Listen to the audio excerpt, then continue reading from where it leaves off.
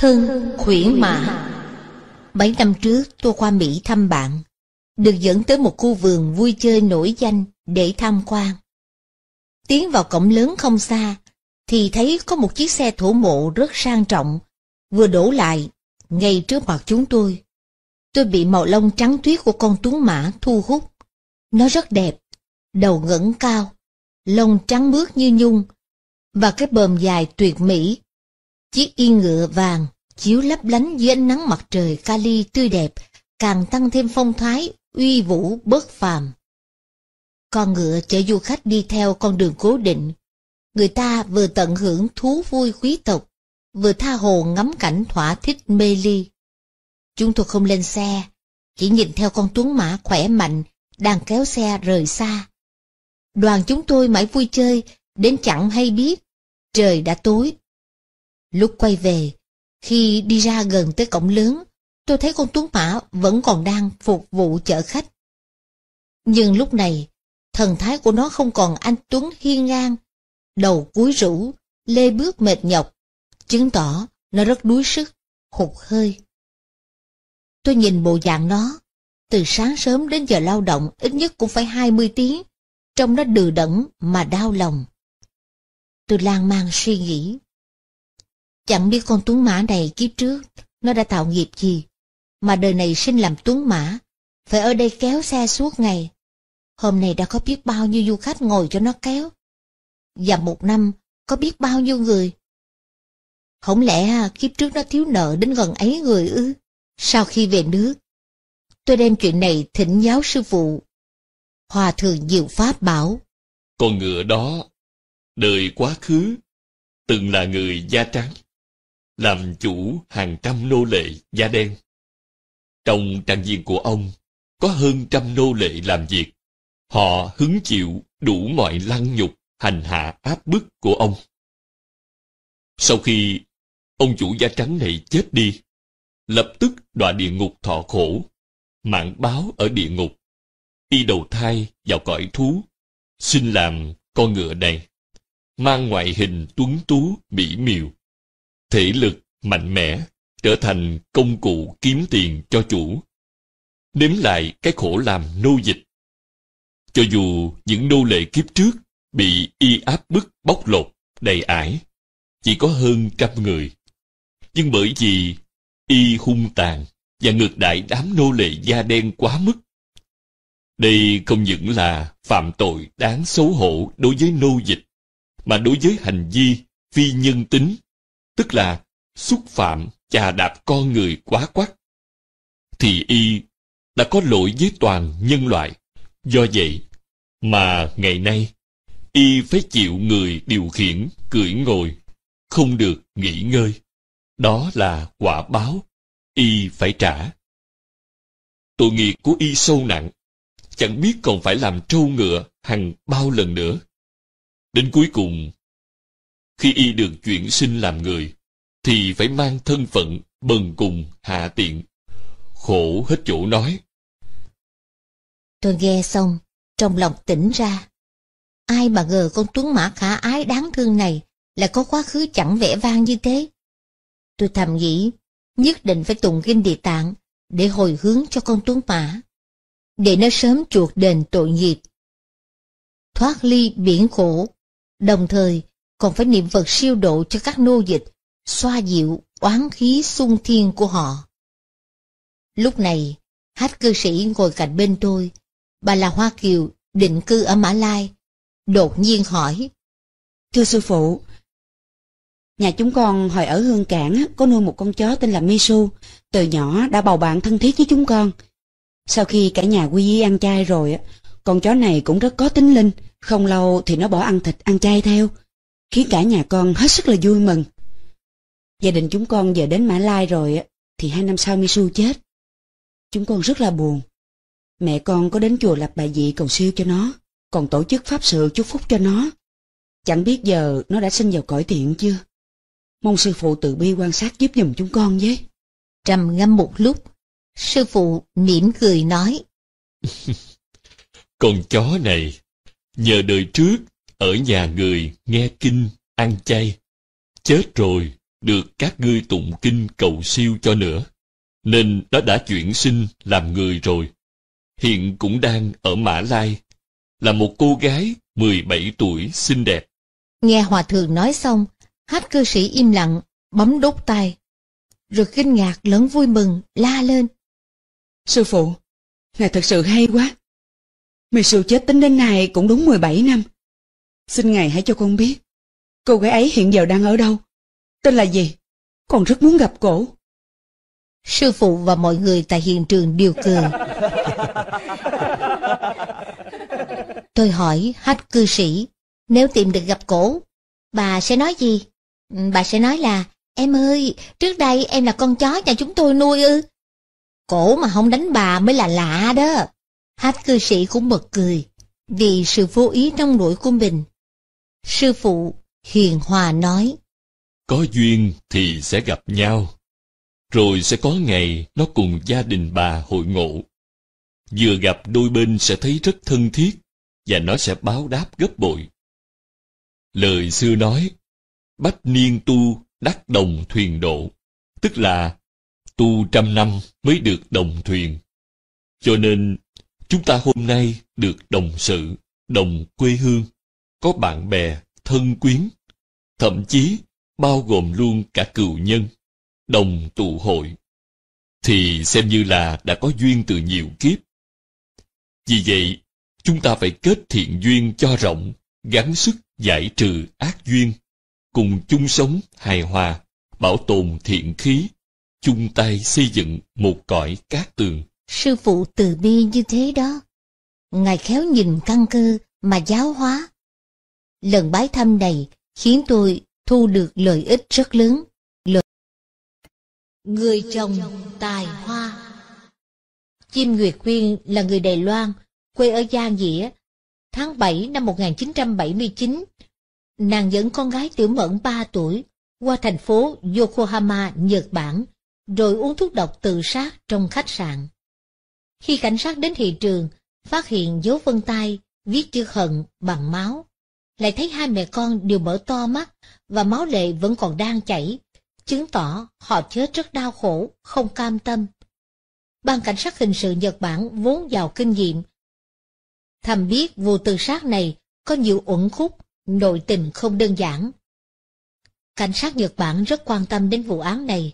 Lần theo lý lịch hộ chiếu người chết, họ đến Đài Loan trú một ngày tại cơ quan hiệp trợ và nhanh chóng tìm ra cha mẹ nạn nhân. Phụ thân Nguyệt Quyên là ông Chim Phong Bình làm nghề nông, mẹ là Du Kiều Nguyệt, nội trợ. Quyên là người con thứ ba trong nhà, trên có anh và chị, dưới có hai em trai. Hồi nhỏ, Quyên học rất giỏi, nên đã thi đậu vào Đại học Sư phạm Đại Bắc trứ danh. Người quanh đó đều ngưỡng mộ, ngợi khen. Nàng chính là niềm tự hào của gia đình họ Chim. Quyên học đại học đến năm thứ tư. Nhân dịp tham gia hoạt động chuyên đội, nàng quen anh Uông Huyền Nhân, người đài đại, bề ngoài không có gì xuất chúng, nhưng có lắm tài. Tính anh khéo hài hước pha trò, chọc người cười vui, nói năng lưu loát, lại khéo nhã ngọc, phun châu, nhờ vậy mà lọt vào mắt xanh của Quyên. Qua nửa năm quen biết, tình cảm ngày một nồng hậu. Họ dự định tốt nghiệp xong thì sẽ kết hôn. Trong mắt các bạn, hai người là một cặp trời xanh, trai tài gái sắc, khiến cho người nhìn vào phải ước ao. Nhưng thế sự khó lường. Năm đó, anh Nhân vừa tốt nghiệp thì tham gia hoạt động leo núi. Trên đường trở về bất ngờ, anh bị tai nạn xe. Trong thời gian trị dưỡng, hàng ngày, hãy khuyên dạy học xong thì đến bệnh viện chăm sóc anh. Do vậy mà nàng quen biết bác sĩ thực tập, Vu Luân Thuận. Thuận trông có vẻ là một người tài hoa mẫu mực, tính trầm lặng, ít nói. Lúc đó, Thuận đã âm thầm thương yêu Quyên. Sau khi nhân tạ thế, Thuận nhiệt tình theo đuổi Quyên.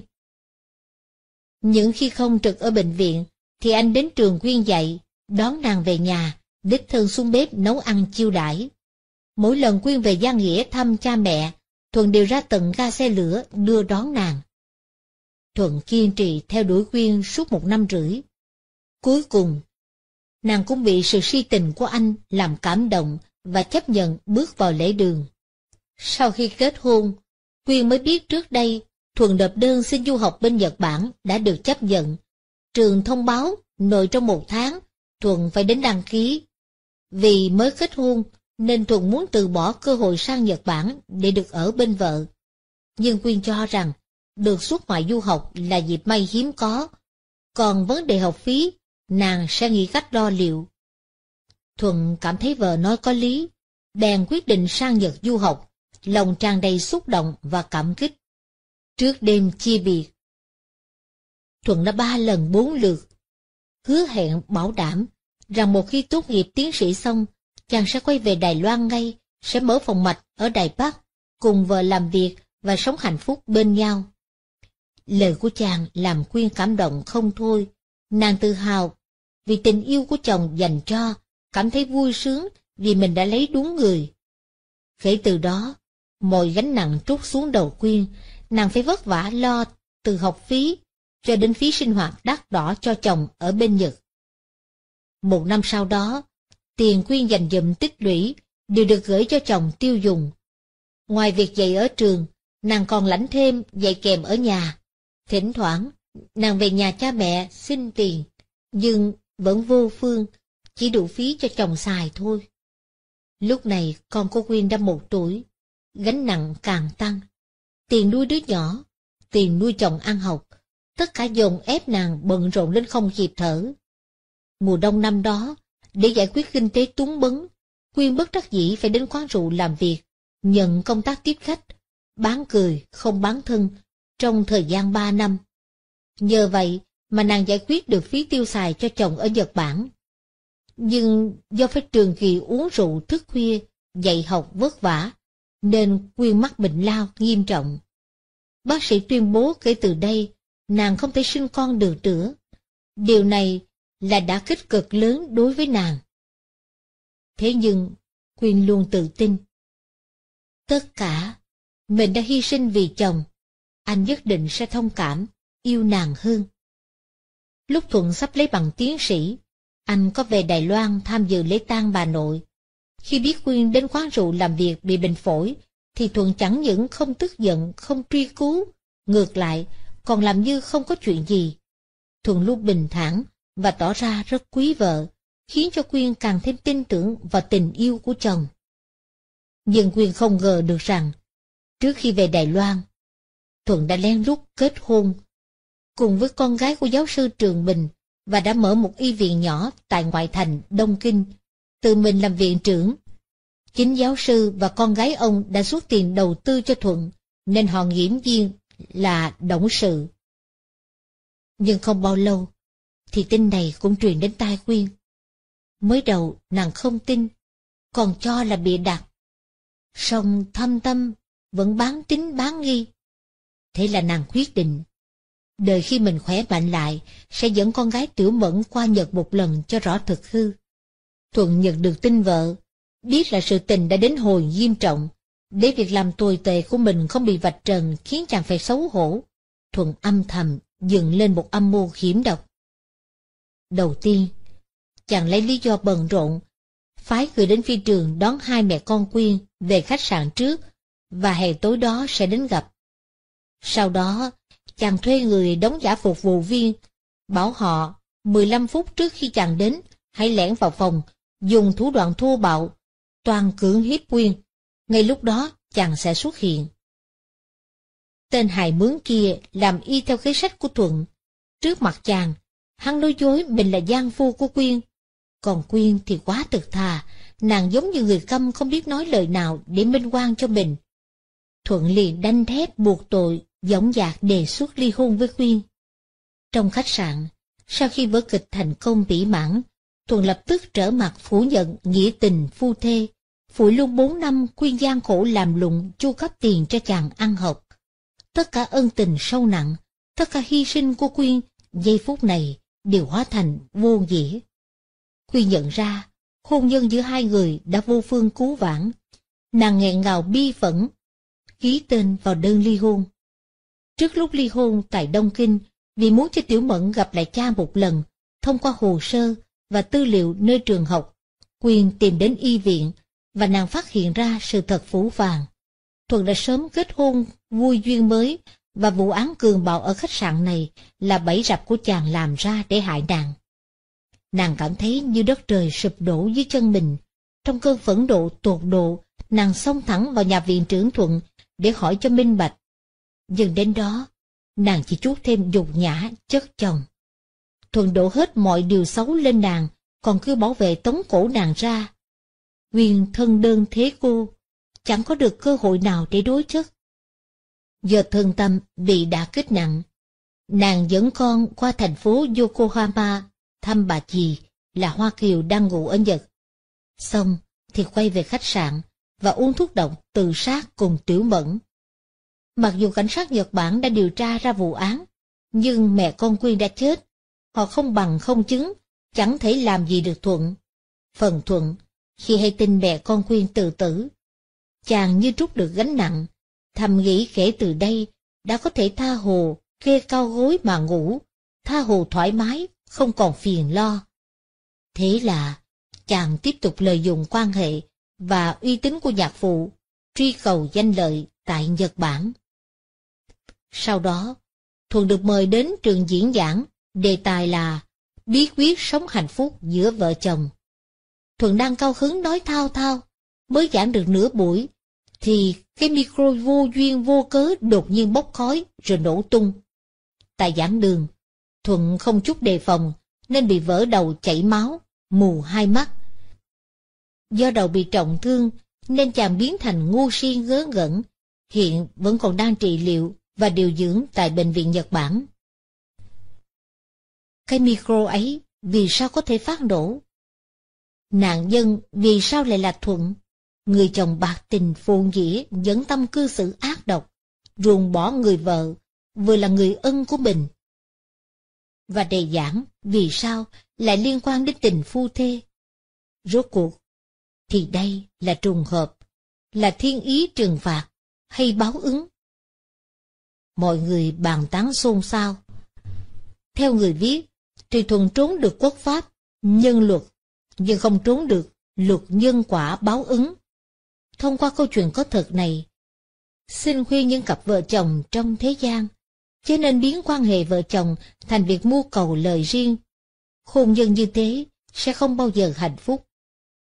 Tiến sĩ, Kim bác sĩ Thuận, việc công danh lợi lộc trước mắt mà bước vào nẻo sai, cuối cùng đánh mất cả lương tâm, cho nên phải trả giá bằng hậu quả thê thảm như mọi người đã thấy. Đây gọi là ác nhân gặp ác báo. Người ưa câu cá Câu cá là hoạt động cực kỳ tàn nhẫn.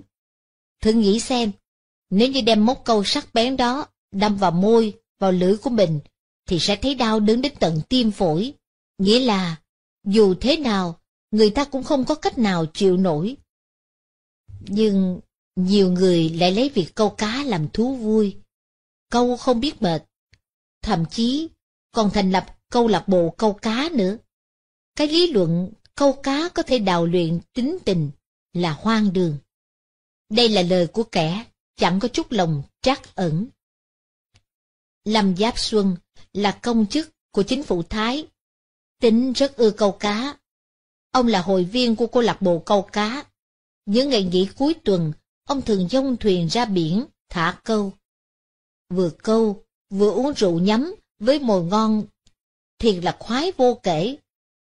Mọi người uống mỹ tủ, ăn cá tươi, cùng hưởng thụ khoái lạc nhân gian cho qua hết ngày giờ. Mấy năm trước, lúc câu lạc bộ mới sáng lập, không khí rất nhộn nhịp sôi nổi. Thế nhưng, từ năm ngoái trở đi, từ con số 30 hội viên, giờ chỉ còn lại 7-8 người mà thôi. Câu lạc bộ bây giờ tử khí nặng đề, khiến mọi người ủ ê, không còn hứng thú ra biển câu cá nữa. Cho dù Lâm Giáp Xuân là một nam tử cứng đầu không tin nhân quả báo ứng, ông không có gia đình, không tín ngưỡng, nhưng cũng không thể đem lại sự linh hoạt khiến mọi người phấn chấn hăng hái ra biển câu như hồi xưa. Lý do là vì có hai quái sự liên tục phát sinh. Việc thứ nhất xảy ra ngay trên thân lão hội viên A Bang. Hôm đó là Chủ nhật. A Bang cùng với vợ vào đất liền, thăm nhạc mẫu chúc Thọ. Nhạc mẫu ông vốn là một người có máu mặt, có danh vọng ở bản địa. Hôm chúc Thọ đó, tân khách đến dự chợt cửa, yến tiệc hết sức sang, có đủ thịt bò, heo, cá, gà, vịt, ngỗng. Muốn ăn gì đều có nấy. Thực khách hưởng dụng thỏa thích, nhưng vẫn không sao ăn hết. A Bang ưa ăn cá và nội tạng. Nhìn thấy trên bàn tiệc có một con cá to, ông rất khoái. Do khi ăn không cẩn thận nhai kỹ, lại ngốn nội tạng cá vào miệng quá nhiều, nên vừa nuốt qua, thì A Bang bị mắc nghẹn. Ông cảm giác như có vật gì cứng, mắc kẹt tại yết hầu, nên quýnh quán dùng tay kéo ra, nhưng không tài nào móc ra được. Chính trong khoảnh khắc nuốt không trôi, kéo không ra đó, ông hô hấp cực kỳ khó khăn, muốn há miệng la to cầu cứu cũng không thể. Em trai ông ngồi đối diện, là người phát hiện ra tình huống nguy cấp này trước tiên, nên vội chạy qua phụ giúp. Nhưng hai mắt A Bang đã trợn trắng, đầu gục xuống, hơi thở yếu dần đi. Mọi người lập tức dìu ông lên xe đi cấp cứu, nhưng mới nửa đường, thì ông tắt thở. Mặc dù người đã chết, nhưng y viện vẫn tiến hành phẫu thuật để kiểm tra nguyên nhân tử vong. Bác sĩ lôi nội tạng cá mắc kẹt tại yết hầu ra. Chính ngay giây phút đó, các bác sĩ, y tá, hộ lý tại hiện trường thấy đều sợ há hốc mồm, sợ đến đơ mắt, cứng miệng khi nhìn thấy thủ phạm giết người chính là cái móc câu đang móc cứng vào yết hầu của A Bang. Lạ lùng là cái móc câu này nằm ở trong nội tạng cá, xuống đến cổ A Bang, nó bị ép ló ra, cho nên khi A Bang càng dùng sức kéo thì móc câu càng bám chặt. Những thân hữu chứng kiến tình hình kinh khủng này, tất nhiên ai cũng liên tưởng tới sở thích ưa câu cá của A Bang. Hơn nữa, kinh nghiệm và kỹ thuật câu của ông khiến cho tất cả hội viên đều bái phục. Trong lúc người khác không câu được cá, thì ông thu hoạch vô số. Bây giờ, nhìn cảnh hai mắt A Bang trợn trắng, miệng há to, bên cạnh là cái móc câu dính đầy máu, ai nấy đều sợ đến lông tóc dựng đứng, không thể không tin nhân quả báo ứng như bóng theo hình. Câu chuyện xảy ra cho A Bang là ngàn chân muôn thực. Câu chuyện thứ hai còn ly kỳ hơn. Hội viên Dương Tị Ích là cao thủ câu cá, từng tham gia các hội thi, liên tục hai lần đều giật giải quán quân. Dương Thi Sinh ngoài thú ưa câu cá ra, còn ưa đi xe đạp điện. Hàng ngày, cứ chạm vàng túi là ông chở vợ ra ngoài ven đô hóng gió. Tối đó khoảng 11 giờ, ông dự tăng lễ người bạn thân xong thì lái xe về nhà. Con đường quen thuộc đến nỗi, cho dù có nhắm mắt, ông cũng có thể lái rành rọt. Nhưng thật kỳ quái, chiếc xe hơi đang chạy ngon trớn, thì ông bỗng thấy trước mặt xuất hiện một con sông lớn. Trước đây, ông chưa hề thấy qua. Để tránh rơi xuống sông, vì đang lái ở tốc độ 120 km h nên ông vội vàng bẻ lái đạp thắng gấp. Chỉ nghe rầm, một tiếng thật to, ông tông thẳng vào cột điện ven đường. Đến lúc ông tỉnh dậy, thì thấy mình đã nằm trong bệnh viện. Ai cũng nghĩ Dương Tiên Sinh lái xe tốc độ cao, thành ra bị tai nạn. Tuy điều này xảy ra ngoài ý muốn, nhưng chưa đủ kỳ quái. Kỳ quái nhất là vết thương trên thân thể của ông rất mau chóng lành, Duy chỉ có môi và vòm miệng là thương tích nghiêm trọng. Cả hàm răng rung hết, chẳng ăn gì được. Hơn một tháng nay, chỉ có thể dùng ống dẫn bơm thức ăn lỏng vào cổ họng. Còn lạ hơn nữa là vết tét phía trên lẫn phía dưới của khóe môi, bác sĩ đã khâu bảy lần mà vẫn không khép lại. Vì khâu xong, đến lúc cắt chỉ, thì hai khóe mép của ông lại lở loét xương phù. Cuối cùng, bác sĩ phải dùng chỉ túi tân tẩm hóa chất để may cho kính. Một tuần sau, chỉ tự tan rồi, nhưng môi ông vẫn lở loét. Hai khóe cứ ngoác rộng ra như hàm cá. Bác sĩ chủ trị đành thúc thủ bó tay. Ngót mấy tháng, ông bị đau đớn dày vò, thống khổ bất tận, mồm cứ lở loét, hả rộng y hệt mồm cá lúc bị móc câu làm tổn thương gây lỡ vậy. Hôm nọ, vợ ông như lệ thường đến thăm, vô tình buộc miệng nói. Ôi trời ơi, miệng ông há to như vậy, giống hệt miệng con cá mắc câu à. Mấy từ này đánh động đến lương tâm Dương Tiên Sinh giống như một lời cảnh báo, khiến ông nhớ lại mỗi lần mình câu cá đều kéo rách miệng cá, làm cho nó lỡ loét cả vòm miệng. Bây giờ, ông mới thực sự đồng cảm sâu sắc với nỗi đau của nó. Thế là, ông cùng với vợ vội mang đèn hương đi đến chùa, đối trước Phật. Ông Chí Thành lễ bái sám hối và phát thệ từ nay về sau không bao giờ câu cá nữa. Nói ra cũng lạ. Từ hôm đó trở đi, môi ông dần dần lành lại, không còn lỡ sưng nữa. Chỉ một tuần sau, thì ông xuất viện. Sau đó, ông kể cho các bạn hội viên những gì mình đã trải qua và khuyên họ không nên câu cá nữa. Từ đó, hội viên câu lạc bộ câu cá giải nghệ rất nhiều. Không bao lâu, Lâm Xuân Giáp cũng từ bỏ việc câu cá và câu lạc bộ giải tán. Người ưa câu cá Câu cá là hoạt động cực kỳ tàn nhẫn. Thử nghĩ xem, nếu như đem móc câu sắc bén đó đâm vào môi, vào lưỡi của mình, thì sẽ thấy đau đớn đến tận tim phổi. Nghĩa là, dù thế nào, người ta cũng không có cách nào chịu nổi. Nhưng nhiều người lại lấy việc câu cá làm thú vui. Câu không biết mệt. Thậm chí còn thành lập câu lạc bộ câu cá nữa. Cái lý luận câu cá có thể đào luyện tính tình là hoang đường. Đây là lời của kẻ chẳng có chút lòng trắc ẩn. Lâm Giáp Xuân là công chức của chính phủ Thái, tính rất ưa câu cá. Ông là hội viên của câu lạc bộ câu cá. Những ngày nghỉ cuối tuần, ông thường dông thuyền ra biển, thả câu. Vừa câu, vừa uống rượu nhắm với mồi ngon, thiệt là khoái vô kể. Mọi người uống mỹ tủ, ăn cá tươi, cùng hưởng thụ khoái lạc nhân gian cho qua hết ngày giờ. Mấy năm trước, lúc câu lạc bộ mới sáng lập, không khí rất nhộn nhịp sôi nổi. Thế nhưng, từ năm ngoái trở đi, từ con số 30 hội viên, giờ chỉ còn lại 7-8 người mà thôi.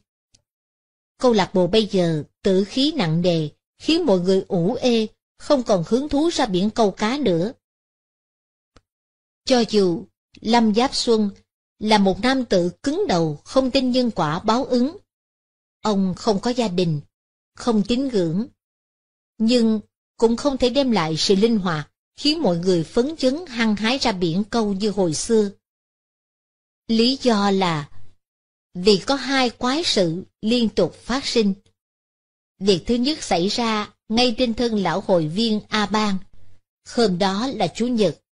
A Bang cùng với vợ vào đất liền, thăm nhạc mẫu chúc thọ. Nhạc mẫu ông vốn là một người có máu mặt, có danh vọng ở bản địa. Hôm chúc thọ đó, tân khách đến dự chợt cửa, yến tiệc hết sức sang, có đủ thịt bò, heo, cá, gà, vịt, ngỗng. Muốn ăn gì đều có nấy, thực khách hưởng dụng thỏa thích, nhưng vẫn không sao ăn hết. A Bang ưa ăn cá và nội tạng. Nhìn thấy trên bàn tiệc có một con cá to, ông rất khoái.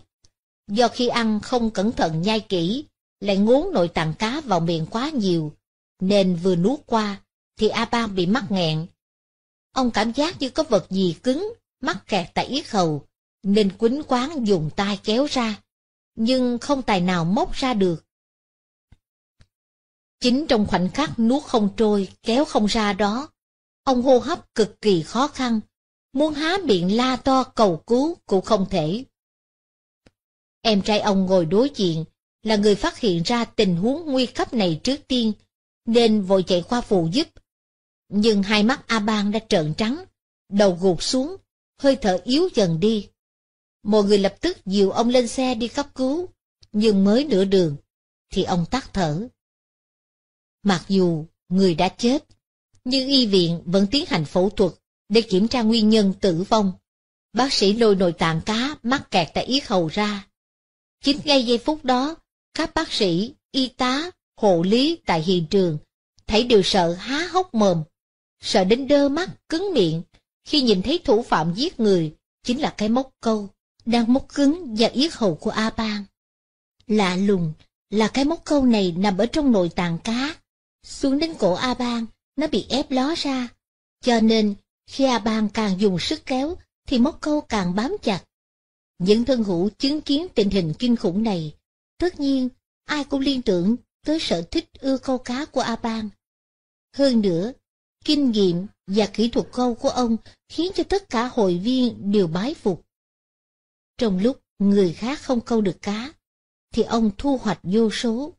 Bây giờ, nhìn cảnh hai mắt A Bang trợn trắng, miệng há to, bên cạnh là cái móc câu dính đầy máu, ai nấy đều sợ đến lông tóc dựng đứng, không thể không tin nhân quả báo ứng như bóng theo hình.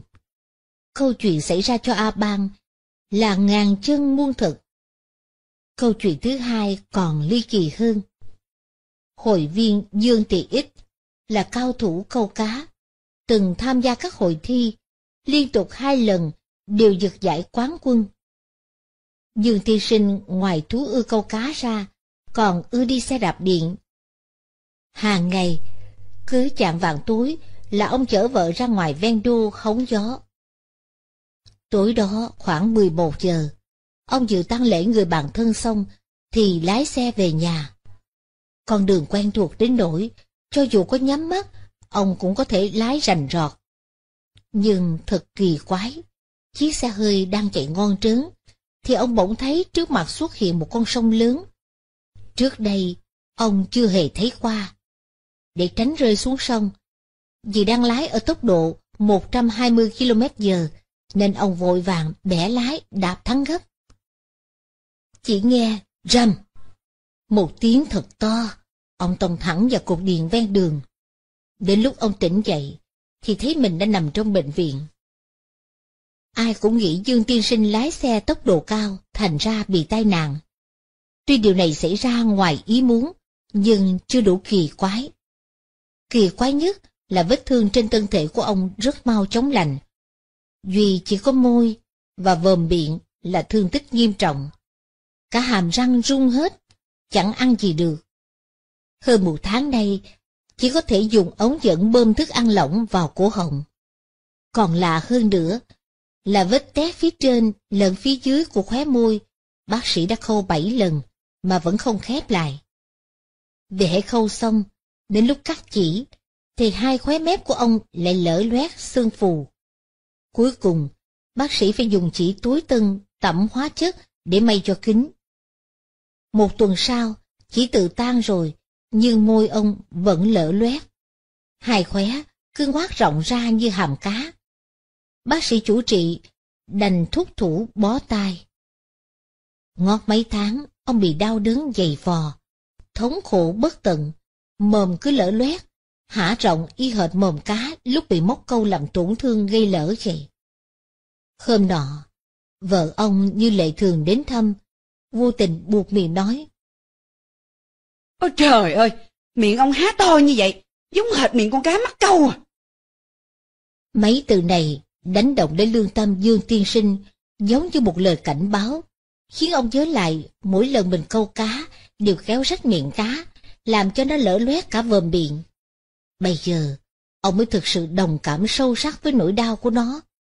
Thế là, ông cùng với vợ vội mang đèn hương đi đến chùa, đối trước Phật, ông Chí Thành lễ bái sám hối và phát thệ từ nay về sau không bao giờ câu cá nữa.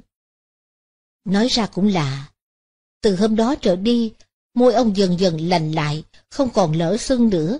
Chỉ một tuần sau, thì ông xuất viện. Sau đó, ông kể cho các bạn hội viên những gì mình đã trải qua và khuyên họ không nên câu cá nữa. Từ đó, hội viên câu lạc bộ câu cá giải nghệ rất nhiều. Không bao lâu, Lâm Xuân Giáp cũng từ bỏ việc câu cá, và câu lạc bộ giải tán. Nguyên nhân không ngờ, có một nữ cư sĩ hơn 60 tuổi đến bái kiến hòa thượng, kể là bản thân mình mấy mươi năm nay luôn cảm thấy khó thở nơi ngực, nhưng đi bệnh viện khám vẫn không ra bệnh. Bà uống thuốc đông tây y đủ hết, nhưng không hiệu quả, khẳng định là trị không hết. Nghe sư phụ giảng Phật Pháp, bà rất tin. Xin sư phụ quan sát dùm xem, bản thân bà đã tạo nghiệp chi mà bị bệnh này.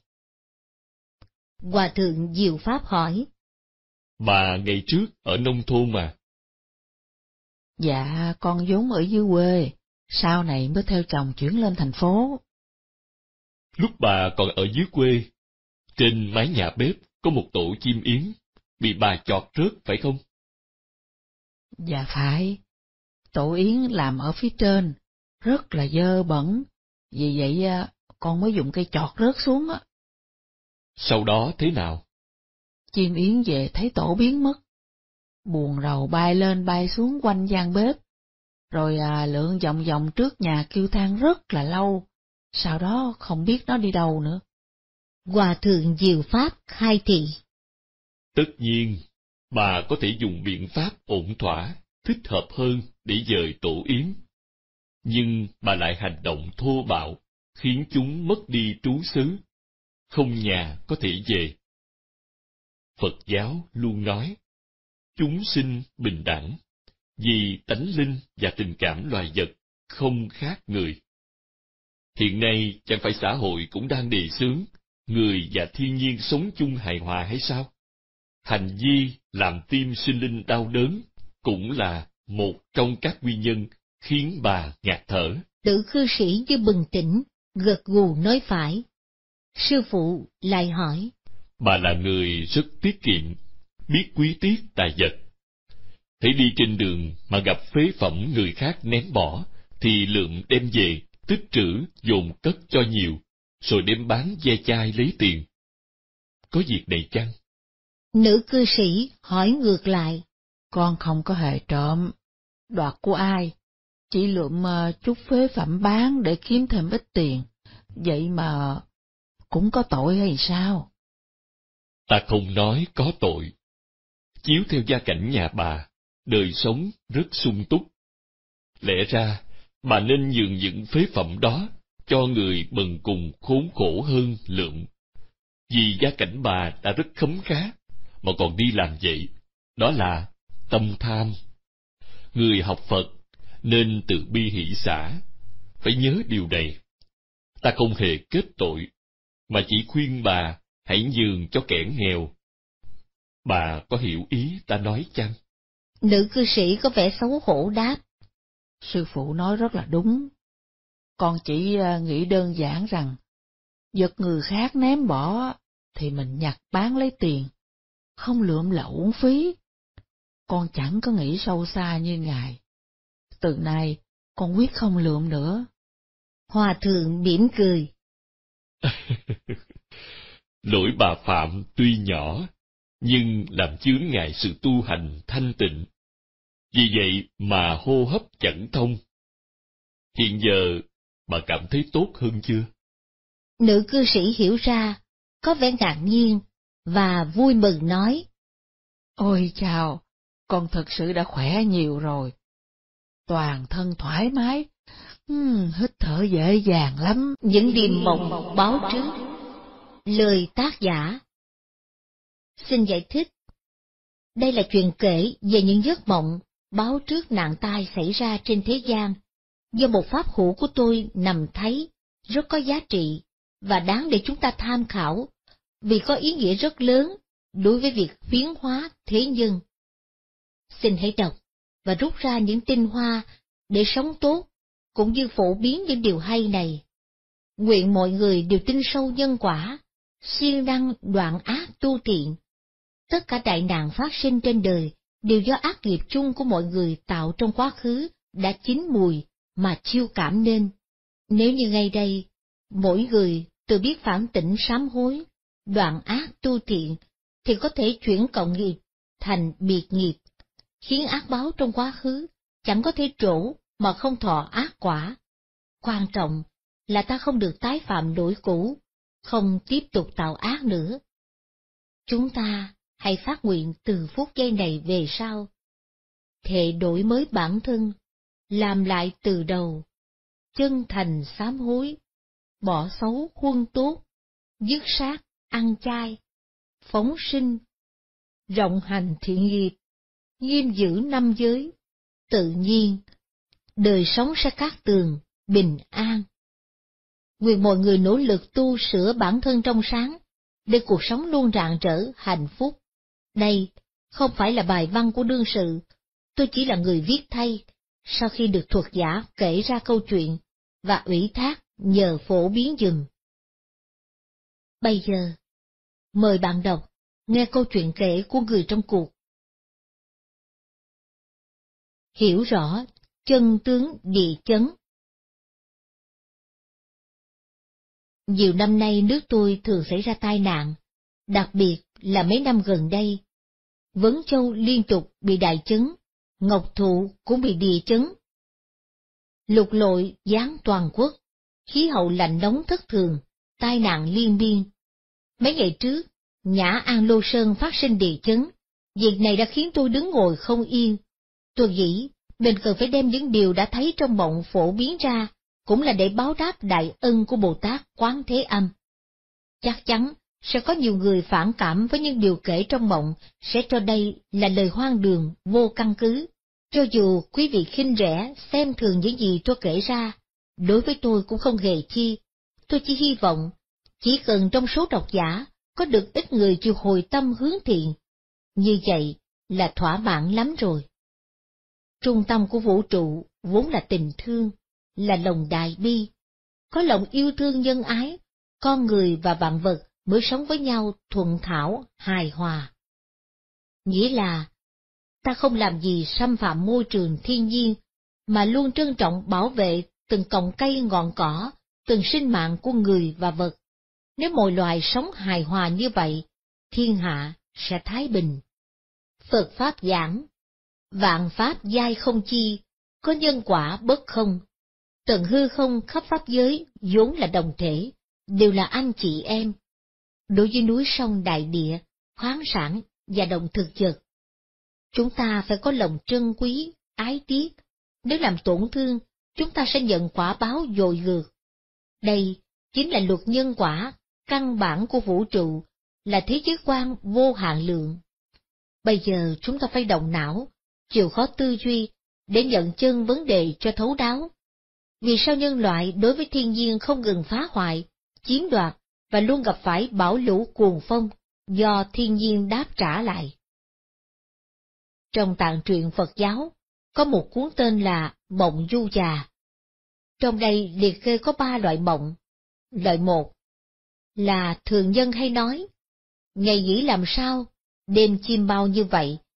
Cho nên, các giấc mộng này hoàn toàn không có ý nghĩa, không rõ ràng và không logic. Loại hai, do nghiệp lực tạo trong quá khứ hiển thị khoa mộng, chẳng hạn như đương sự thường mộng, thấy bị người truy sát, vân vân. Loại ba, do công phu tu hành đạt đến cảnh giới cao, tâm định phát dụng, hoặc được thần linh báo mộng. Mộng này cần hồi đủ ba điều kiện. Một, có trí huệ bẩm sinh, tức là trí huệ do nhiều đời tu hành tích lũy. Hai, có công phu thiền định tương đối cao, ra khỏi bùn nhơ và bất nhiễm chính là thiền tối cao. Ba, do phúc báo hành thiện nhiều đời tích lũy thành. Loại mộng thứ ba luôn thấy rất rõ ràng, giống hệt như đang xảy ra ban ngày vậy. Phật giáo gọi mộng này là thanh minh mộng cảnh. Đây là linh mộng, thường xuất hiện sau ba bốn giờ sáng. Mộng này liên quan đến chân tướng vũ trụ nhân sinh. Các vấn đề này trong cuốn Đại Đức Đích Tương quan Luận Thuật có giảng giải rất cụ thể và tỉ mỉ. Trước khi từ thuật các giấc mộng dự báo địa chấn, tôi nghĩ mình nên nói một chút về chuyện động vật, hay đến báo mộng, thỉnh cầu phóng sinh. Đây là cảnh mà vài pháp hữu của tôi cũng thường thấy. Hàng năm, cứ bắt đầu vào xuân, là lời rắn thường đến báo mộng cho tôi, xin tôi hãy đi phóng sinh chúng. Nhưng năm ngoái, chúng báo mộng vào cuối năm, còn báo mộng cho chồng tôi nữa. Có lúc, chúng báo mộng cho tôi liên tục suốt ba đêm liền, xin tôi hãy phóng sinh con chúng trước, rồi sau đó mới thả chúng. Cuối cùng, chúng còn nói, nếu tôi phóng sinh chúng rồi, chúng sẽ rất tri ân. Còn nếu như không thả, tầm báo oán của rắn rất mạnh. Xem ra động vật cũng rất yêu con mình, dù là độc xà, song những con rắn này, lúc sinh thời có một số đã từng là người tu hành, cho nên rắn rất có linh tính.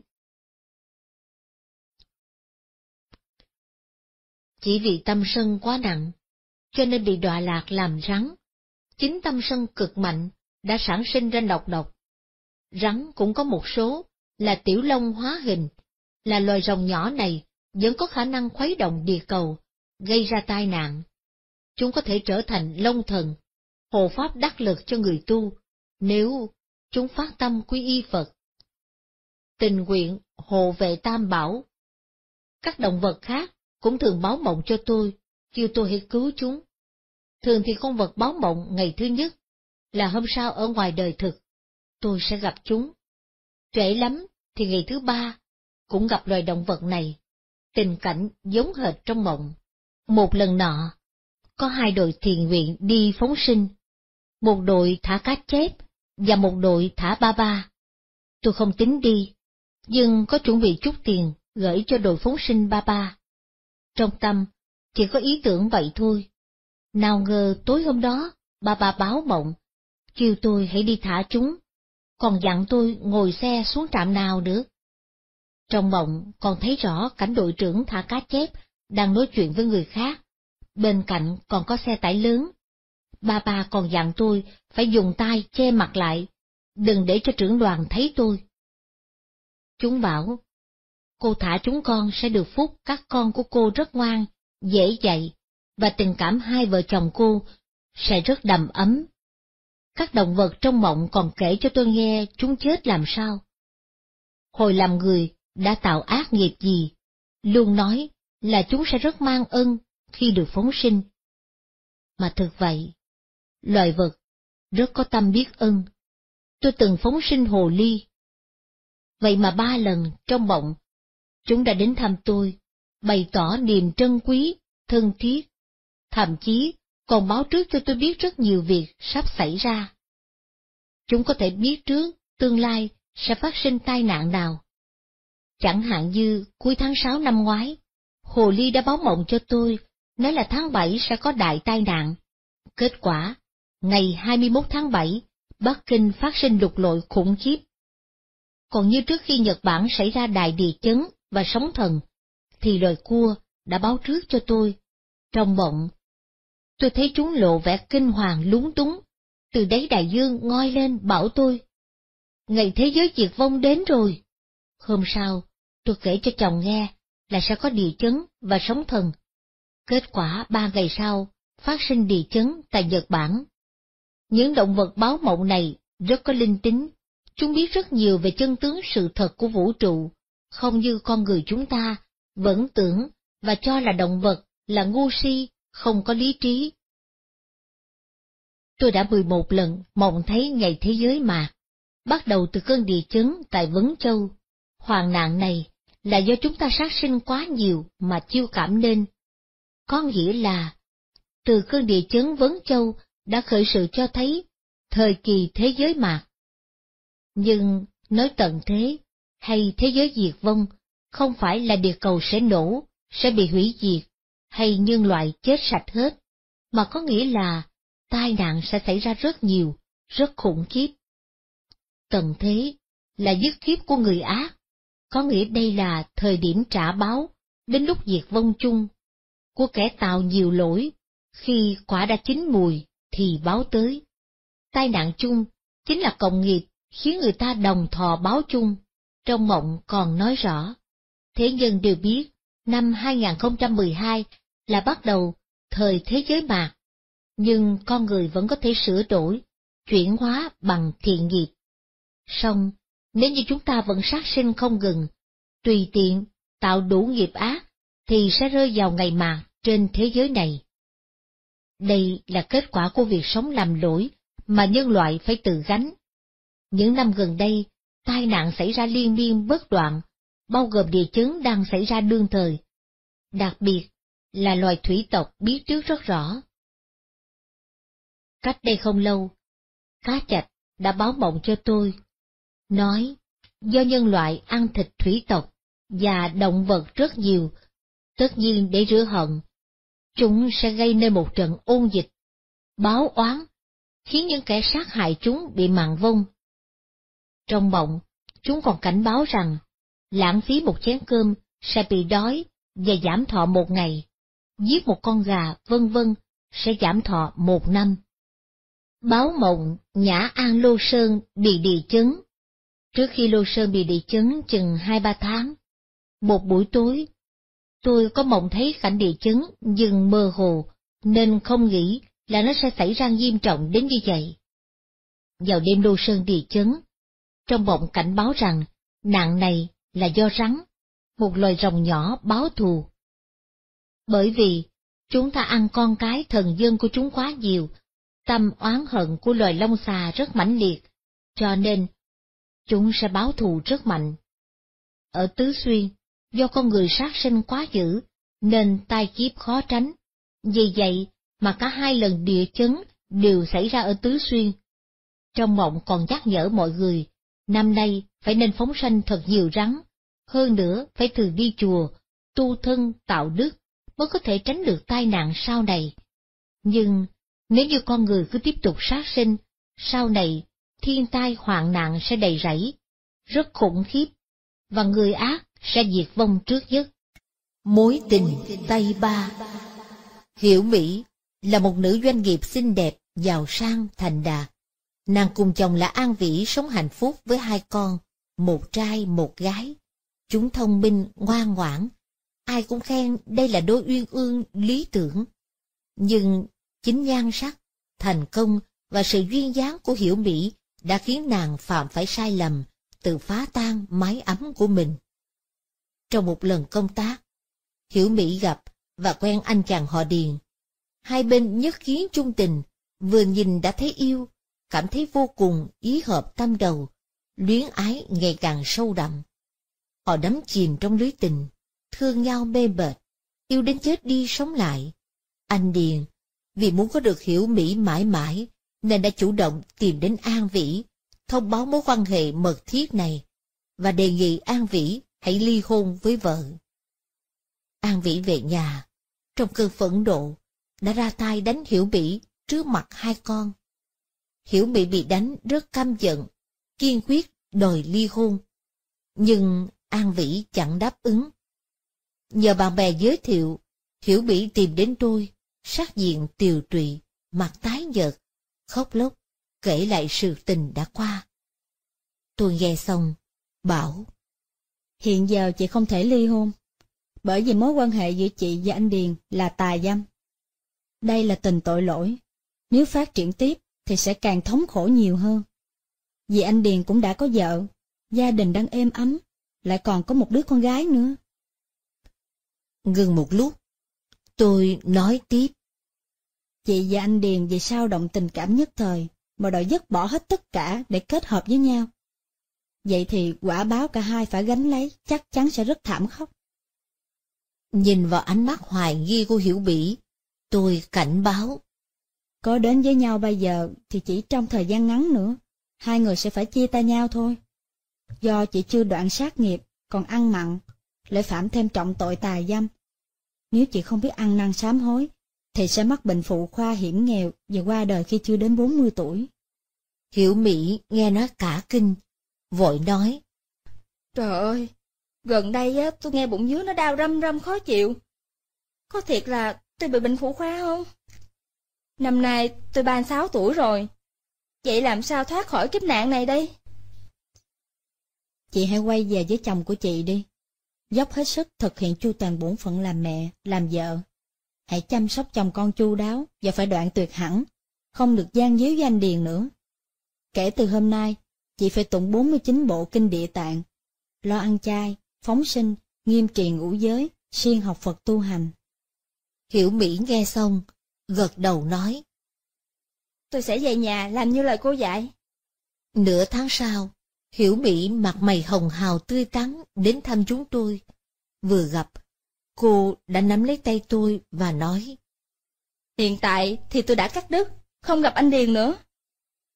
Chị nhớ kiên trì tụng kinh hồi hướng, dứt ác hành thiện, trì giới tu hành, xem như đổi mới cuộc đời lại hết kể từ đây. Hai tháng sau, cuộc sống hiểu Mỹ đã chuyển tốt, hàng ngày chị tụng kinh, sám hối những lỗi lầm trước đây và âm thầm hành thiện tích đức. Không những thế, cả gia đình chị đã bắt đầu ăn chay, hầu Phật.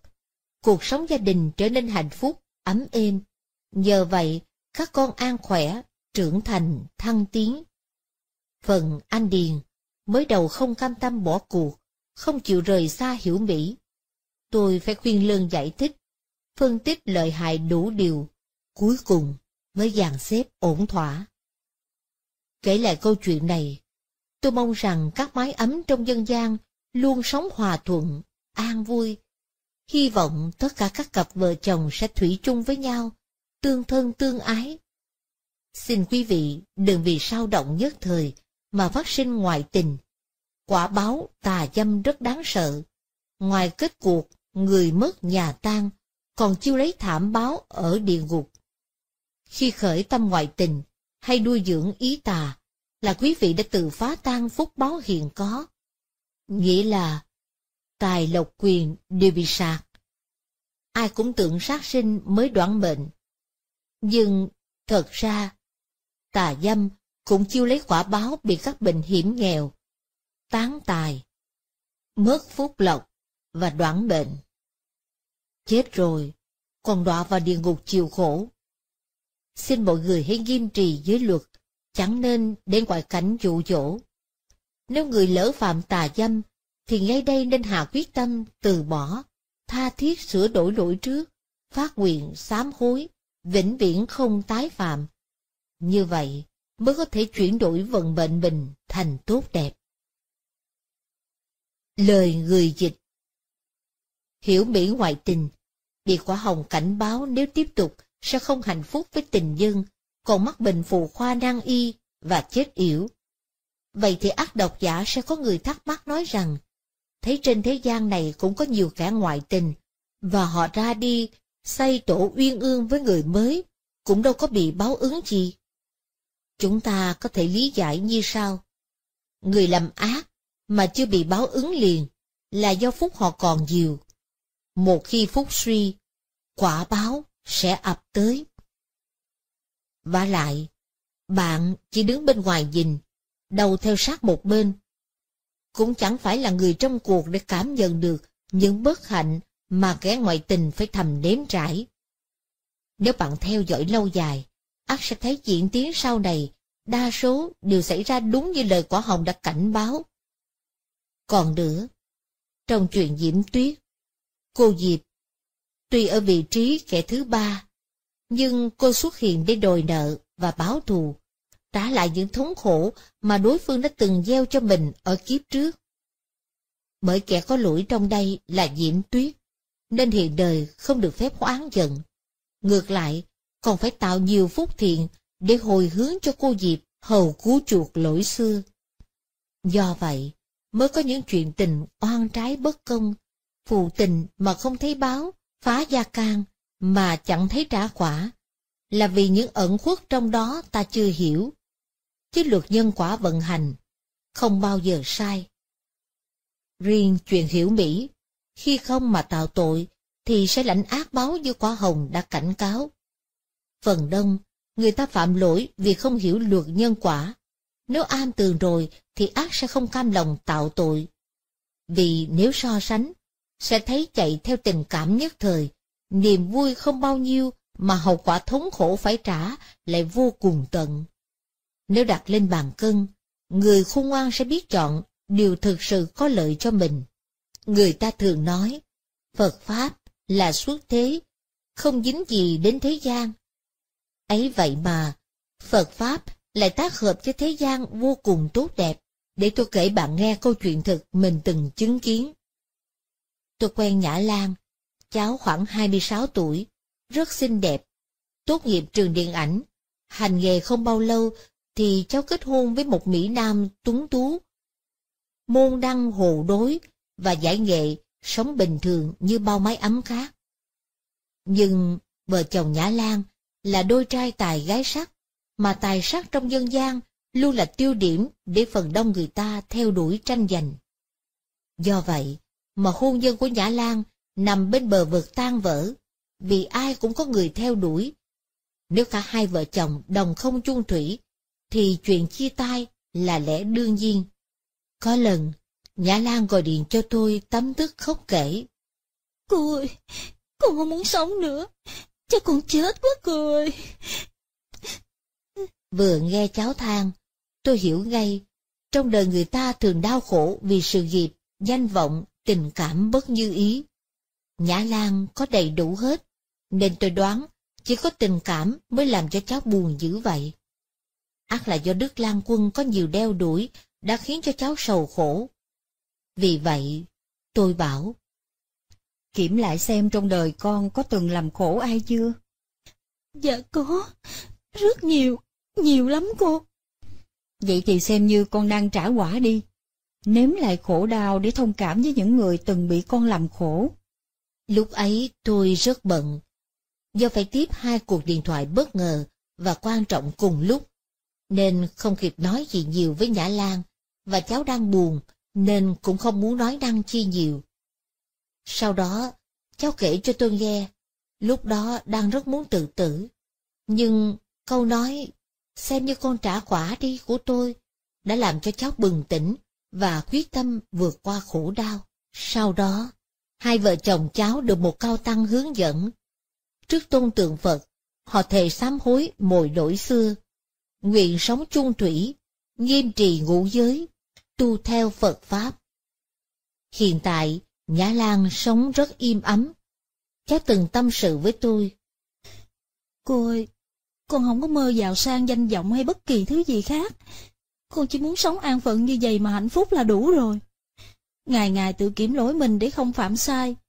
Ngày ngày càng hành trì theo pháp Phật, tụi con càng hạnh phúc. Nhờ vậy mà vợ chồng con tin nhau tuyệt đối. Ai mà nói xấu con á là ảnh binh liền à. Ai mà nói xấu ảnh thì con cũng binh nữa. Vì biết đôi bên đều lo giữ giới, không dám tạo tội phạm lỗi nữa. Chẳng còn ai lo ai ngoại tình, chẳng ai thèm canh ai nữa. Vì đã có giới pháp của Phật bảo vệ rồi mà. Tụi con cứ thế mà sống, cứ thế mà tích đức tạo phúc, gieo nhân an ổn từ đời này mãi đến đời sau. Nghe cháu nói mà vui.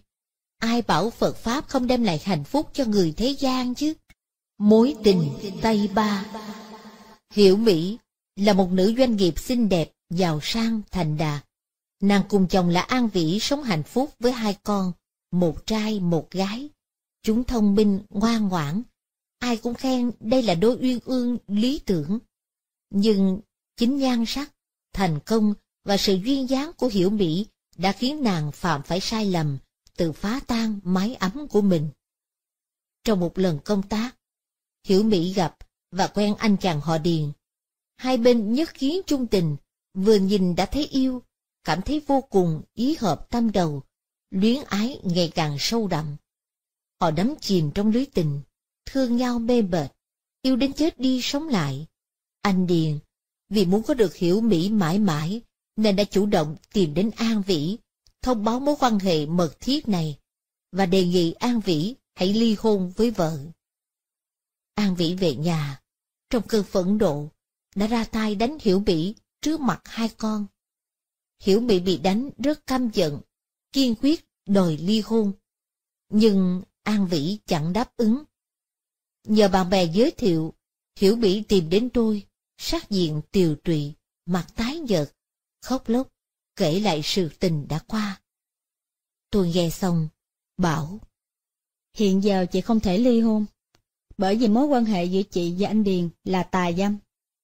Đây là tình tội lỗi, nếu phát triển tiếp thì sẽ càng thống khổ nhiều hơn. Vì anh Điền cũng đã có vợ, gia đình đang êm ấm, lại còn có một đứa con gái nữa. Ngừng một lúc, tôi nói tiếp. Chị và anh Điền vì sao động tình cảm nhất thời, mà đòi dứt bỏ hết tất cả để kết hợp với nhau. Vậy thì quả báo cả hai phải gánh lấy, chắc chắn sẽ rất thảm khốc. Nhìn vào ánh mắt hoài nghi của Hiểu Bỉ, tôi cảnh báo.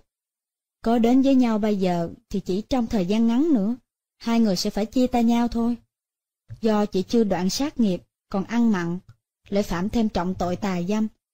Nếu chị không biết ăn năn sám hối, thì sẽ mắc bệnh phụ khoa hiểm nghèo và qua đời khi chưa đến 40 tuổi. Hiểu Mỹ nghe nói cả kinh, vội nói. Trời ơi, gần đây á, tôi nghe bụng dưới nó đau râm râm khó chịu. Có thiệt là tôi bị bệnh phụ khoa không? Năm nay tôi 36 tuổi rồi. Vậy làm sao thoát khỏi kiếp nạn này đây? Chị hãy quay về với chồng của chị đi. Dốc hết sức thực hiện chu toàn bổn phận làm mẹ, làm vợ. Hãy chăm sóc chồng con chu đáo và phải đoạn tuyệt hẳn, không được gian díu danh điền nữa. Kể từ hôm nay, chị phải tụng 49 bộ kinh địa tạng, lo ăn chay, phóng sinh, nghiêm trì ngũ giới, siêng học Phật tu hành. Hiểu Mỹ nghe xong, gật đầu nói. Tôi sẽ về nhà làm như lời cô dạy. Nửa tháng sau, Hiểu Mỹ mặt mày hồng hào tươi tắn đến thăm chúng tôi. Vừa gặp, cô đã nắm lấy tay tôi và nói. Hiện tại thì tôi đã cắt đứt, không gặp anh Điền nữa. Chị nhớ kiên trì tụng kinh hồi hướng, dứt ác hành thiện, trì giới tu hành, xem như đổi mới cuộc đời lại hết kể từ đây. Hai tháng sau, cuộc sống hiểu Mỹ đã chuyển tốt, hàng ngày chị tùng kinh, sám hối những lỗi lầm trước đây và âm thầm hành thiện tích đức. Không những thế, cả gia đình chị đã bắt đầu ăn chay, hầu Phật. Cuộc sống gia đình trở nên hạnh phúc, ấm êm. Nhờ vậy, các con an khỏe, trưởng thành, thăng tiến. Phần anh Điền, mới đầu không cam tâm bỏ cuộc, không chịu rời xa hiểu Mỹ. Tôi phải khuyên lơn giải thích, phân tích lợi hại đủ điều, cuối cùng mới dàn xếp ổn thỏa. Kể lại câu chuyện này, tôi mong rằng các mái ấm trong dân gian luôn sống hòa thuận, an vui. Hy vọng tất cả các cặp vợ chồng sẽ thủy chung với nhau, tương thân tương ái. Xin quý vị đừng vì sao động nhất thời mà phát sinh ngoại tình. Quả báo tà dâm rất đáng sợ. Ngoài kết cuộc, người mất nhà tan, còn chiêu lấy thảm báo ở địa ngục. Khi khởi tâm ngoại tình, hay nuôi dưỡng ý tà, là quý vị đã tự phá tan phúc báo hiện có.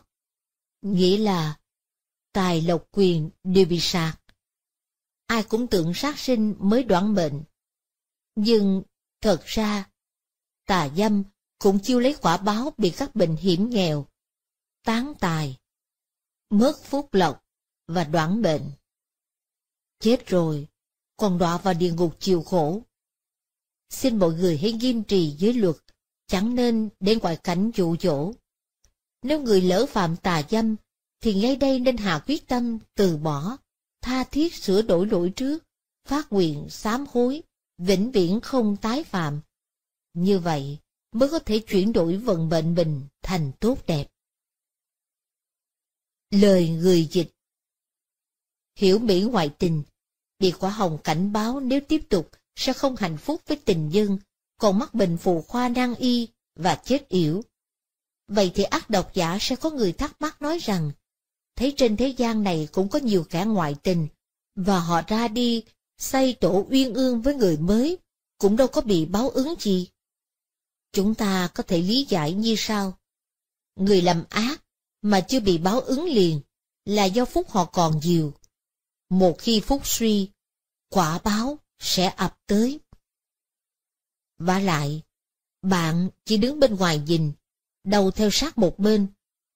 Cũng chẳng phải là người trong cuộc để cảm nhận được những bất hạnh mà kẻ ngoại tình phải thầm nếm trải. Nếu bạn theo dõi lâu dài, ắt sẽ thấy diễn tiến sau này, đa số đều xảy ra đúng như lời quả hồng đã cảnh báo. Còn nữa, trong chuyện Diễm Tuyết, cô Diệp, tuy ở vị trí kẻ thứ ba, nhưng cô xuất hiện để đòi nợ và báo thù, trả lại những thống khổ mà đối phương đã từng gieo cho mình ở kiếp trước. Bởi kẻ có lỗi trong đây là Diễm Tuyết, nên hiện đời không được phép oán giận. Ngược lại, còn phải tạo nhiều phúc thiện để hồi hướng cho cô Diệp hầu cứu chuộc lỗi xưa. Do vậy, mới có những chuyện tình oan trái bất công, phụ tình mà không thấy báo, phá gia can mà chẳng thấy trả quả, là vì những ẩn khuất trong đó ta chưa hiểu. Chứ luật nhân quả vận hành, không bao giờ sai. Riêng chuyện hiểu Mỹ, khi không mà tạo tội, thì sẽ lãnh ác báo như quả hồng đã cảnh cáo. Phần đông, người ta phạm lỗi vì không hiểu luật nhân quả. Nếu am tường rồi thì ác sẽ không cam lòng tạo tội. Vì nếu so sánh, sẽ thấy chạy theo tình cảm nhất thời, niềm vui không bao nhiêu mà hậu quả thống khổ phải trả lại vô cùng tận. Nếu đặt lên bàn cân, người khôn ngoan sẽ biết chọn điều thực sự có lợi cho mình. Người ta thường nói, Phật Pháp là suốt thế, không dính gì đến thế gian. Ấy vậy mà, Phật Pháp lại tác hợp với thế gian vô cùng tốt đẹp, để tôi kể bạn nghe câu chuyện thực mình từng chứng kiến. Tôi quen Nhã Lan, cháu khoảng 26 tuổi, rất xinh đẹp, tốt nghiệp trường điện ảnh, hành nghề không bao lâu thì cháu kết hôn với một Mỹ Nam tuấn tú. Môn đăng hồ đối và giải nghệ sống bình thường như bao mái ấm khác. Nhưng vợ chồng Nhã Lan là đôi trai tài gái sắc, mà tài sắc trong dân gian luôn là tiêu điểm để phần đông người ta theo đuổi tranh giành. Do vậy mà hôn nhân của Nhã Lan nằm bên bờ vực tan vỡ, vì ai cũng có người theo đuổi. Nếu cả hai vợ chồng đồng không chung thủy, thì chuyện chia tay là lẽ đương nhiên. Có lần, Nhã Lan gọi điện cho tôi tấm tức khóc kể. Cô ơi, con không muốn sống nữa, chắc con chết quá cô ơi. Vừa nghe cháu than, tôi hiểu ngay, trong đời người ta thường đau khổ vì sự nghiệp, danh vọng, tình cảm bất như ý. Nhã Lan có đầy đủ hết, nên tôi đoán chỉ có tình cảm mới làm cho cháu buồn dữ vậy. ắt là do Đức Lan Quân có nhiều đeo đuổi đã khiến cho cháu sầu khổ. Vì vậy, tôi bảo, Kiểm lại xem trong đời con có từng làm khổ ai chưa? Dạ có, rất nhiều, nhiều lắm cô. Vậy thì xem như con đang trả quả đi. Nếm lại khổ đau để thông cảm với những người từng bị con làm khổ. Lúc ấy tôi rất bận, do phải tiếp hai cuộc điện thoại bất ngờ và quan trọng cùng lúc, nên không kịp nói gì nhiều với Nhã Lan, và cháu đang buồn nên cũng không muốn nói năng chi nhiều. Sau đó, cháu kể cho tôi nghe, lúc đó đang rất muốn tự tử, nhưng câu nói xem như con trả quả đi của tôi đã làm cho cháu bừng tỉnh và quyết tâm vượt qua khổ đau. Sau đó, hai vợ chồng cháu được một cao tăng hướng dẫn. Trước tôn tượng Phật, họ thề sám hối mồi lỗi xưa, nguyện sống chung thủy, nghiêm trì ngũ giới, tu theo Phật Pháp. Hiện tại, Nhã Lan sống rất im ấm. Cháu từng tâm sự với tôi. Cô ơi, con không có mơ giàu sang danh vọng hay bất kỳ thứ gì khác. Con chỉ muốn sống an phận như vậy mà hạnh phúc là đủ rồi. Ngày ngày tự kiểm lỗi mình để không phạm sai. Ngày ngày càng hành trì theo pháp Phật, tụi con càng hạnh phúc. Nhờ vậy mà vợ chồng con tin nhau tuyệt đối. Ai mà nói xấu con á là ảnh binh liền à. Ai mà nói xấu ảnh thì con cũng binh nữa. Vì biết đôi bên đều lo giữ giới, không dám tạo tội phạm lỗi nữa. Chẳng còn ai lo ai ngoại tình, chẳng ai thèm canh ai nữa. Vì đã có giới pháp của Phật bảo vệ rồi mà. Tụi con cứ thế mà sống, cứ thế mà tích đức tạo phúc, gieo nhân an ổn từ đời này mãi đến đời sau. Nghe cháu nói mà vui. Ai bảo Phật Pháp không đem lại hạnh phúc cho người thế gian chứ? Mê hồn than Mê hồn than như tứ đổ tường, nhiều người mê đắm khó thể buông, hút thuốc học bài mờ tâm trí, đắm nghiền tủ sắt từ trói thân. Nếu ai thoát khỏi bốn tật này, chính là Như Lai từ tài Vương. Một chàng sinh viên khoảng hai mươi, hướng hòa thượng diệu pháp, nêu thắc mắc. Vì kiếp trước đời sau, hồi nhỏ con có nghe bà nội kể qua, nói rằng hễ Diêm Dương cho người nào đầu thai, thì trước tiên bắt họ uống một chén mê hồn than của mạnh bà, uống xong thì quên hết mọi chuyện đời trước. Xin hỏi sư phụ, có chuyện uống canh mê hồn này không ạ? À? Hòa thượng Diệu Pháp đáp. Ta nói có hay không, đều chẳng thể đưa ra bằng chứng cho con. Hãy nghĩ xem. Hiện tại người thế gian, trước đây là oan gia với nhau, nhưng họ có thể vì tiền mà sẵn sàng vùi quên oán hận quá khứ để bắt tay hợp tác. Vậy là thù có thể hóa thành bạn. Có kẻ vốn là bằng hữu, thân thiết như tay chân, cũng vì tiền mà lật lọng trở mặt phản nhau thành thù. Thậm chí dẫn tới anh chết, tôi sống, thì một mất, một còn. Đây đều là do uống phải mê hồn than tiền của mạnh bà mà quên hết tất cả. Diệt dương câu tiễn vì muốn báo thù ngô phù sai, cho nên phải nằm gai nếm mật. Không lẽ ông thật quên mối nhục trong quốc mà chịu theo hầu hạ, phục dịch ngô phù sai? Đây chỉ là giả dờ, dối trá thôi. Vì tận đáy lòng diệt dương, ông đầy thù oán, chỉ đợi thời cơ rửa hận. Không phải là không báo thù, mà vì thời chưa tới. Một sinh mạng, sau khi đầu thai chuyển thế, có nghĩa là chỉ hoán đổi cái đẩy da thúi bên ngoài thôi, về hình dấp xem như có thay đầu đổi mặt. Thực đó, nhưng thần thức gã nương bên trong xác thân tứ đại giả hợp này, đối với quá khứ vẫn biết rõ một cách khách quan, rằng nên hướng ai báo ân, hướng ai đòi nợ. Vì vậy mới có câu, thiện được thiện báo, ác hữu ác báo. Do nghiệp lực dẫn dắt, hãy cần đến thì nhất định phải đến, cần đi chắc chắn sẽ đi. Quyết không thể vì ưa ghét của bạn mà thủ xả tăng giảm. Cho nên, bị mê hồn than làm lú lẫn, chính là bị tập khí, tham, sân si, che lấp Phật tính vốn có, khiến cho chúng sinh phải điên đảo, lưu chuyển trong sinh tử. Mẹ chồng, nàng dâu Vô lượng kiếp đến đây, chúng ta sinh tử trôi lăn trong sáu đường.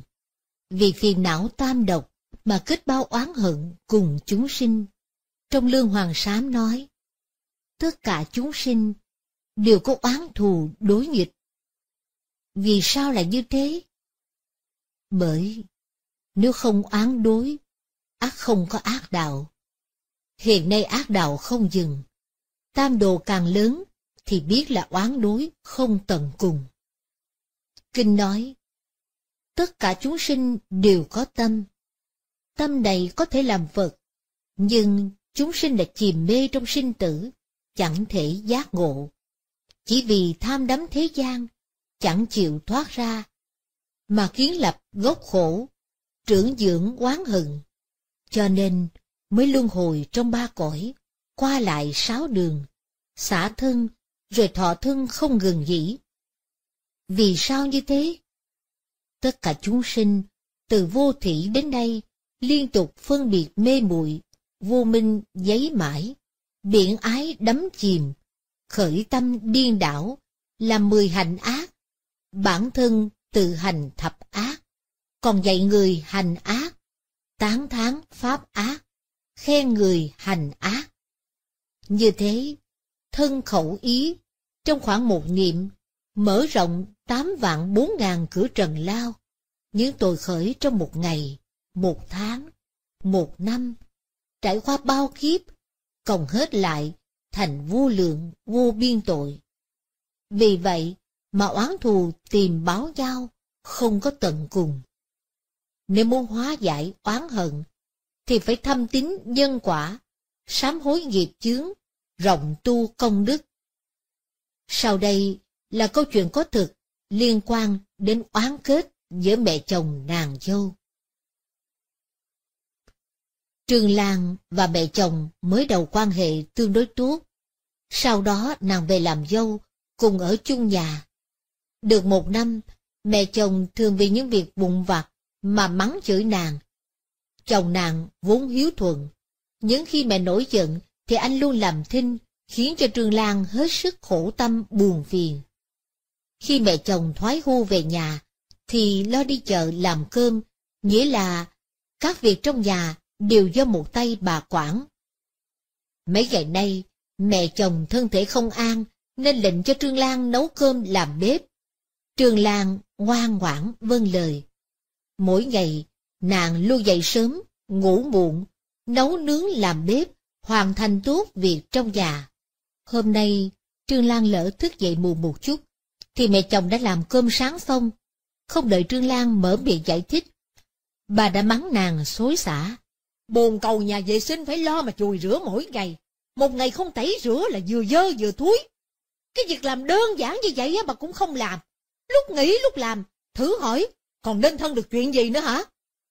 Cha chồng thấy vậy, liền tiến đến khuyên can, càng khiến cho mẹ chồng thêm kích động, nổi sung. Trước sự thịnh nộ chửi mắng của bà, Trương Lan không dám hé môi nói tiếng nào. Nàng ráng nhịn oan khuất, song bản thân còn phải ra ngoài công tác, cũng rất gian khổ. Bình thường, nàng đối với ba mẹ chồng một bề kính thuận, làm gì cũng ý tứ, ráng giữ cho tròn hiếu đạo. Không ngờ hôm nay, lỡ dậy muộn một chút, mà bị mẹ chồng chửi mắng thịnh nộ vô lý đến như vậy. Trương Lan vừa ăn cơm, vừa lau nước mắt. Rửa chén xong, nàng hướng về mẹ chồng xin lỗi, rồi bỏ ra ngoài tìm bạn đạo tâm sự, khóc kể nỗi oan trong lòng. Nghe Trương Lan khóc lóc tường thuật sự việc. Tôi bảo, Thôi mà, thôi em đừng có khóc nữa. Sở dĩ hôm nay em gặp chuyện như vậy là do đời quá khứ giữa em và mẹ chồng em đã từng có xích mích hiểu lầm, nên mới tạo thành quan trái khó giải như ngày hôm nay. Vào thời đường, Trương Lan là một quý phi rất được hoàng đế sủng ái. Có lần, quý phi và hoàng đế đang thưởng thức ca vũ, thì một võ tướng do xuất chinh thất bại, lại bị kẻ ác vu hại, nên hoàng đế triệu vào bái kiến. Lúc này, quý phi ở cạnh bên, thì thầm vào tai hoàng đế mấy câu chi đó. Bên dưới không ai nghe rõ, nhưng võ tướng nhìn thấy cảnh này thì trong lòng cực kỳ không vui. Bởi ông hiểu lầm, vì quý phi đang nói xấu, ngầm ám hại mình. Thực ra, quý phi chỉ xin hoàng thượng ấy hãy xá tội cho ông.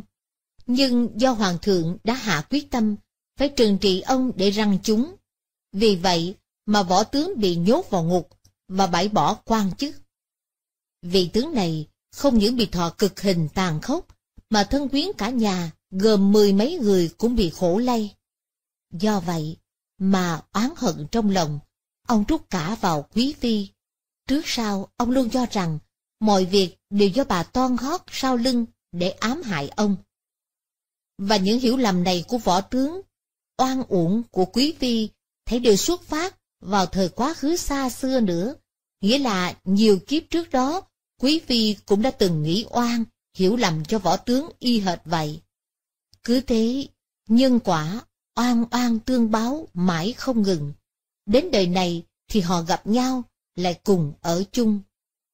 Võ tướng kiếp xưa, nay chính là mẹ chồng của Trương Lan, và giữa mẹ chồng nàng dâu là diễn tiếp mối oán kết chưa giải. Trương Lan nhớ lại kể, À ha, hèn gì mà có một dạo, một người bạn học của em đến thăm, lần đầu mới gặp hả, mẹ chồng em đã hỏi, Trương Lan có nói xấu gì tôi không?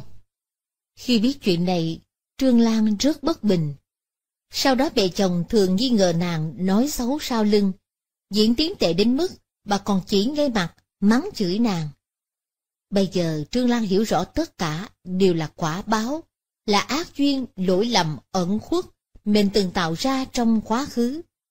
Thế là, nàng bắt đầu sửa đổi, quay sang tự kiểm lỗi mình, lo sám hối nghiệp chướng, phát tâm ăn chay, và tụng 49 bộ kinh địa tạng, hồi hướng cho mẹ chồng, mong hóa giải oán hận hai bên. Từ đó, nàng nghiêm trì giới luật, chăm chỉ tu sửa. Ba tháng sau, quan hệ giữa Trương Lan và mẹ chồng đã cải thiện rất tốt. Hiện nay, ba mẹ chồng thương nàng như con gái ruột của mình. Cả nhà vui sống thuận hòa.